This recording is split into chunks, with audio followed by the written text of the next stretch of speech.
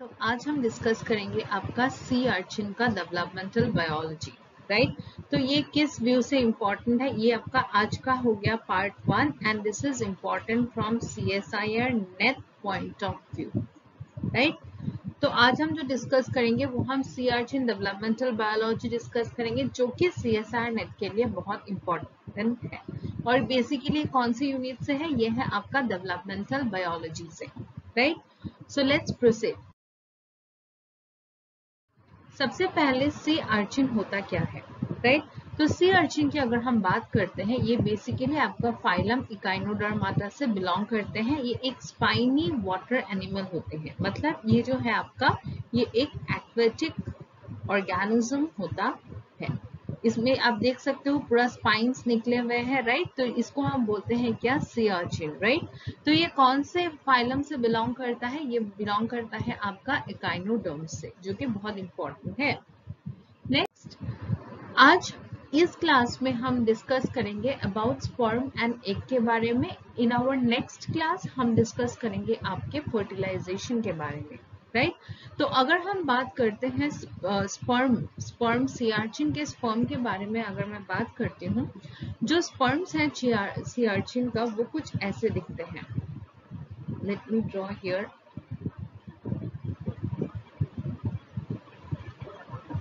already मैंने diagram भी रखा है नेक्स्ट स्लाइड में but to make it more clear ये कुछ इस तरह के दिखते हैं। इसको हम बोलते हैं क्या? This part we call it head middle piece tail right? और यहाँ पे आपका क्या होता है? यहाँ प्रेजेंट होता है आपका, ये होता है आपका न्यूक्लियस इस पार्ट को बेसिकली हम बोलते हैं नेक और यहाँ आपका होता क्या है? नेक में आपका प्रेजेंट रहता है क्या? सेंट्रियोल और यहाँ पे प्रेजेंट होता है आपका माइटोकॉन्ड्रिया मैं यहाँ लेवलिंग करती हूँ। यहाँ प्रेजेंट होता है ये क्या है? ये है आपका सेंट्रियोल और ये है आपका माइटोकॉन्ड्रिया राइट एंड ये वाले जो पार्ट है हेड के इस पार्ट को हम बोलते हैं क्या? हम बोलते हैं इसको एक्रोजोम राइट और ये जो एक्रोजोम होता है बेसिकली वो कहाँ से डिराइव होके आता है? वो आपका डिराइव होता है गोल्गी बॉडीज से राइट गोल्गी बॉडीज से वो डिराइव होके आता है। ये क्वेश्चन पूछ चुका है ऑलरेडी उसके बाद जो cell body collar neck tail right अभी हम डायग्राम देखेंगे आपका। ये हो गया डायग्राम राइट अगर आप ध्यान से देखोगे तो इस पार्ट को हम क्या बोलते हैं? इस पार्ट को हम बोलते हैं क्या? एक्रोजोम राइट ये हो गया आपका न्यूक्लियस ये क्या हो गया? ये हो गया आपका cell membrane this is centriole this is mitochondria right ये हो गया middle piece neck head tail end piece right तो ये आपका हो गया प्रॉपर डायग्राम स्पर्म का. किसका हो गया आपका? ये हो गया आपका स्पर्म का.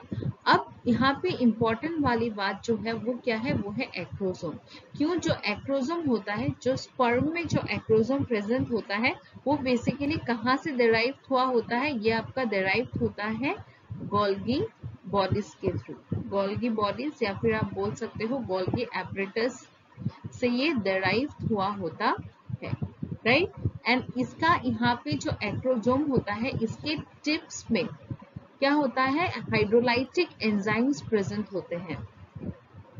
हाइड्रोलाइटिक एंजाइम्स प्रेजेंट होते हैं जो कि आपके फर्टिलाइजेशन में हेल्प करते हैं राइट right? तो एक्स में बेसिकली एक्रोजोम बेसिकली कहाँ से डराइव हुआ होता है? वो होता है आपका गोल्गी बॉडीज या फिर आप गोल्गी एपरेटर्स भी बोल सकते हो। ये आपका, यहाँ पे क्या प्रेजेंट होता है? यहाँ पे प्रेजेंट होता है आपका हाइड्रोलाइटिक एंजाइम्स राइट और जो एक्रोजोम्स होते हैं बेसिकली यहाँ पे एक आपका लिगेंड प्रेजेंट होता है, या फिर आप बोल सकते हो लाइगेंड प्रेजेंट होता है, जिसको हम बोलते हैं बाइंडिंग राइट और ये जो लाइगेंड और रिसेप्टर का रिएक्शन होता है, ये बहुत स्पेसिफिक होता है क्लियर तो अगर हम एक्रोजोम की बात करते हैं बेसिकली ये आपका कहाँ से डेराइव हुआ होता है? ये आपका गोल्गी बॉडी से डेराइव हुआ होता है सॉरी गोल्गी बॉडीज से डराइव हुआ होता है राइट एंड ये आपका प्रेजेंट कहाँ पे होता है? ये आपका स्पर्म में प्रेजेंट होता है। और यहाँ प्रेजेंट क्या होता है? यहाँ प्रेजेंट होता है आपका हाइड्रोलाइटिक एंजाइम्स और इसका जो रिसेप्टर होता है, उसको हम बोलते हैं सॉरी बाइंडिंग जो होता है, ये आपका लिगन होता है, जो कि रिसेप्टर से बाइंड करता है। और ये रिसेप्टर कहाँ प्रेजेंट होता है? ये प्रेजेंट होता है एग के मेम्ब्रेन हम देखेंगे तो अब देख लो acrosome has a binding protein right या फिर आप इसको लिगन भी बोल सकते हो, या फिर आप लाइगेन भी बोल सकते हो Acrosome contains hydrolytic enzymes which help in the process of fertilization. Right? Okay. So next अब हम बात करेंगे एक्स सियाचिन का जो एग है वो कैसा दिखता है this is the structure of egg यहाँ आपका प्रेजेंट रहता है जेली कोट जेली कोट का काम क्या होता है? जेली कोट बेसिकली यहाँ पे आपका ये एक पेप्टाइड रिलीज़ करते हैं, जो जेली कोट होता है, ये आपका एक पेप्टाइड को रिलीज़ करते हैं, जो कि आपका 14 अमाइनो एसिड्स का होता है।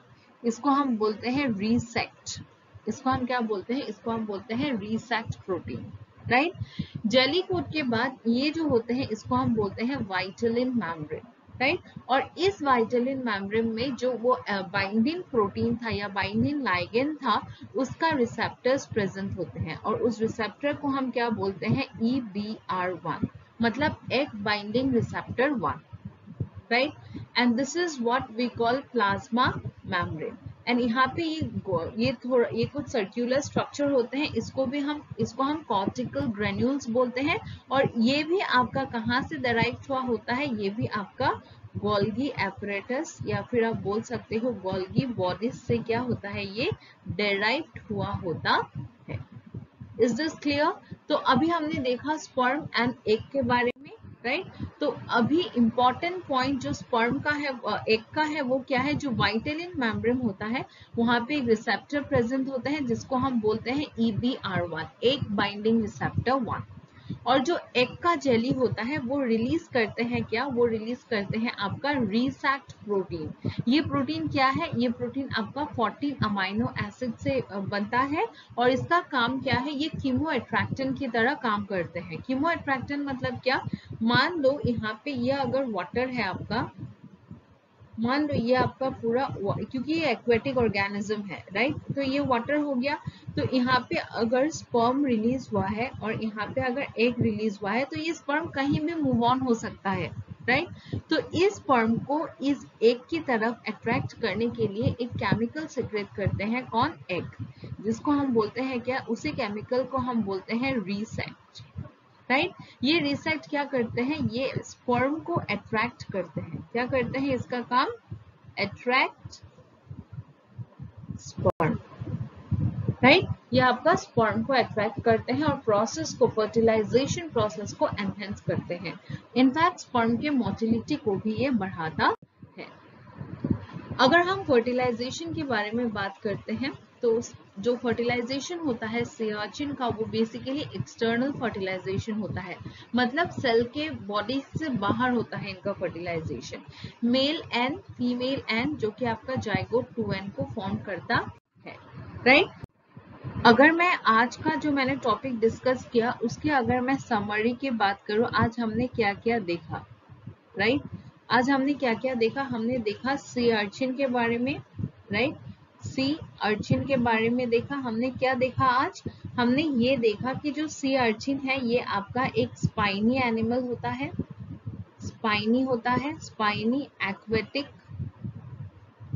ऑर्गेनिज्म होता है राइट और ये आपका कौन सा फाइलम से बिलोंग करते हैं? ये आपके फाइलम इकाइनोडर्माता से बिलोंग करते हैं। या तो आप लिख सकते हो इकाइनोडर्म्स ये आपका इकाइडो डर्म से बिलोंग करता है।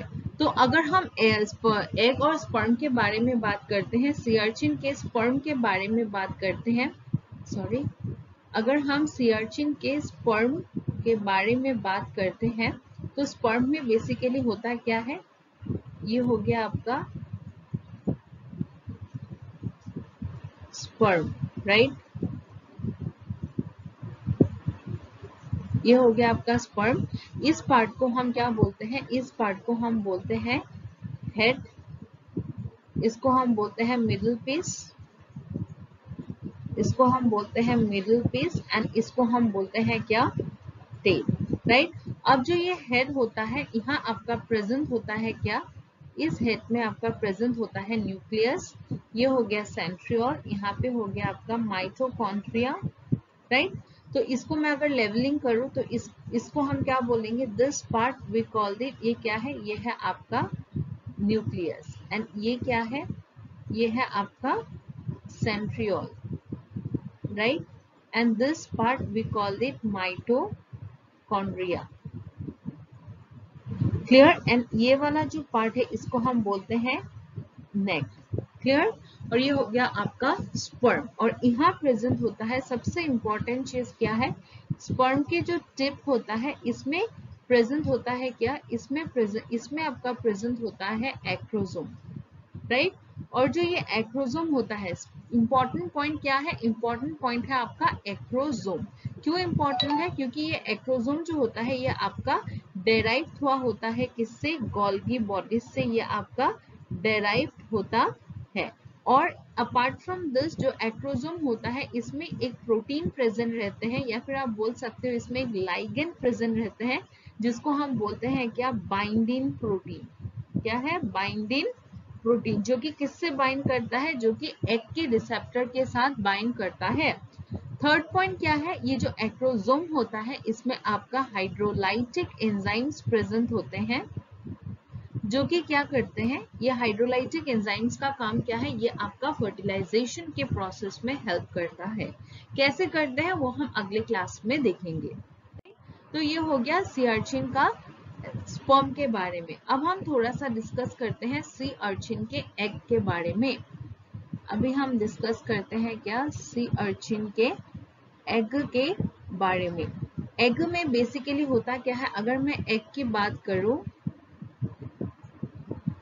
तो कुछ इस तरह से ये दिखता है राइट ये कुछ इस तरह से दिखता है एंड ऐसे दिखता है, यहाँ पे आपके कुछ ऐसे छोटे छोटे चीज़ प्रेजेंट होते हैं। तो यहाँ ये वाला जो होता है बेसिकली इसको हम बोलते हैं क्या? इसको हम बोलते हैं एग जेली इसका काम क्या होता है भाई? इसका काम ये होता है कि ये करता क्या है? ये आपका एक पेप्टाइड को 14 अमाइनो एसिड का एक पेप्टाइड को फॉर्म करते हैं, जिसको हम बोलते हैं क्या? जिसको हम बोलते हैं रिसेक्ट प्रोटीन राइट और इसका रिसेक्ट प्रोटीन का काम बेसिकली क्या है? ये काम करता है आपका कीमो एट्रैक्टन की तरह। मतलब ये स्पर्म को अट्रैक्ट करते हैं। ये क्या करते हैं? ये कीमो एट्रैक्टन की तरह काम करता है। इसका काम क्या है? इसका काम है टू अट्रैक्ट स्पर्म स्पर्म को ये अट्रैक्ट करता है राइट नेक्स्ट आपका क्या प्रेजेंट है? नेक्स्ट आपका इस वाले पार्ट को हम क्या बोलेंगे? इसको हम बोलेंगे वाइटल इन मैम्ब्रेन इसको हम बोलेंगे क्या? वाइटल इन मैम्ब्रेन अब ये जो वाइटल इन मैम्ब्रेन होता है, इसमें आपका क्या प्रेजेंट होता है? इसमें आपका प्रेजेंट होता है एक रिसेप्टर जिसको हम बोलते हैं E V R one E B R one का मतलब क्या है? इसका मतलब है एक बाइंडिंग रिसेप्टर क्या है? एक बाइंडिंग रिसेप्टर ये बेसिकली किसके साथ बाइंड करता है? ये बाइंड करते हैं आपका किसके साथ? ये बाइंड करता है बाइंडिंग के साथ। Bind sweet binding protein present in the sperm binds with binding protein जो कि आपका कहाँ प्रेजेंट होता है? प्रेजेंट इन स्पर्म राइट और ये जो रिएक्शन होता है, ये आपका स्पीसीज स्पेसिफिक होता है। स्पीसीज स्पेसिफिक रिएक्शन होता है। क्लियर एंड उसके बाद यहाँ पे क्या होता है? ये जो छोटे छोटे कुछ प्रेजेंट है, ये आपका प्रेजेंट हो गया प्लाज्मा मेम्ब्रेन ये हो गया आपका प्लाज्मा मेम्ब्रेन राइट और ये जो छोटे छोटे सर्क्यूलर स्ट्रक्चर्स है, इसको हम बोलते हैं क्या? इसको हम बोलते हैं कॉर्टिकल ग्रेन्यूल्स क्या बोलते हैं? कॉर्टिकल ग्रेन्यूल्स राइट अब ये जो कॉर्टिकल ग्रेन्यूल्स होते हैं, ये आपका कहाँ से से, कहाँ से ये कॉर्टिकल ग्रेन्यूल्स फॉर्म होता है? ये भी आपका फॉर्म होता है किससे? गोल्जी बॉडीज से राइट ये भी आपका किससे फॉर्म होता है? ये फॉर्म होता है आपका गोल्गी बॉडीज से। क्लियर अब अगर फर्टिलाइजेशन की, थोड़ा सा अगर मैं फर्टिलाइजेशन के बारे में बात करूँ, जो इनका फर्टिलाइजेशन होता है किसका? सी आर्चिन का। ये फर्टिलाइजेशन कैसा होता है? ये फर्टिलाइजेशन होता है आपका एक्सटर्नल एक्सटर्नल का मतलब क्या होता है? एक्सटर्नल फर्टिलाइजेशन होता है। एक्सटर्नल का मतलब क्या हुआ ये मान लो आपका वाटर है राइट यहाँ पे स्पर्म भी प्रेजेंट होगा, यहाँ पे आपका एग भी प्रेजेंट होगा राइट अब ये एग क्या करेगा? स्पर्म को अट्रैक्ट करने के लिए एक केमिकल रिलीज़ करे, एक पेप्टाइड रिलीज़ करेगा राइट उस पेप्टाइड को हम बोलते हैं रीसेक्ट राइट और ये रीसेक्ट क्या करते हैं? ये आपका स्पर्म को अट्रैक्ट करते हैं। So that sperm can move towards the egg and इनका फर्टिलाइजेशन हो जाए। क्लियर एवरीवन यस अब यहाँ पे क्या होता है आपका? स्पर्म में आपका एक बाइंडिंग प्रोटीन होता है राइट जो कि आपका बाइंड करते हैं किसके साथ? EBR1 के साथ। ये EBR1 क्या है? ये प्रेजेंट बाइंडिंग कहाँ प्रेजेंट होता है? बाइंडिंग प्रेजेंट होता है आपका स्पर्म में। और EBR1 प्रेजेंट होता है एग में राइट एंड ये बिल्कुल आपका स्पेसिफिक होता है। अब हम अगले क्लास में हम इसका फर्टिलाइजेशन का जो प्रोसेस है, वो हम डिटेल में देखेंगे नेक्स्ट क्लास में। इन केस अगर आपका कोई डाउट है या फिर कुछ क्वेरीज हैं तो आप मुझे कमेंट सेक्शन में लिख सकते हैं। अपार्ट फ्रॉम दिस मेरा डिस्क्रिप्शन बॉक्स में मेरा मेल आईडी दिया रहेगा, वहाँ भी आप मेल कर सकते हो। Right thank you so much students for joining the session